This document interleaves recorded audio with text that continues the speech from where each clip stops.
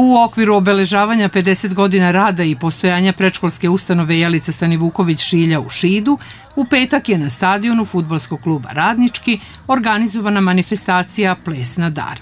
600 mališana plesale u napred uvežbane koreografije uz dečiju muziku za svoje mame, tate, bake, deke i sve ostale koji su došli da ih podrže.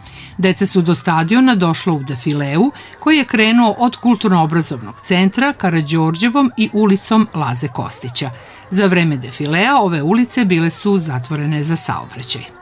Učestvovala su sva deca iz e, vrtića u Šidu, celodnevnog boravka i poludnevnog boravka, starije i pripremne prečkolske grupe i srednje, grupe srednjeg uzrasta i sve grupe iz seoskih sredina. Ukupno je bilo 600 mališana, e, imali su sedam koreografija i jedno, jednom mesec dana su sve to sa svojim vaspitačima i timom koji je to sve osmislio uvežbavali, vredno uvežbavali da bi ovde danas izveli za naše građanstvo, za svoje roditelje, za sve oni koji su brinu o njima.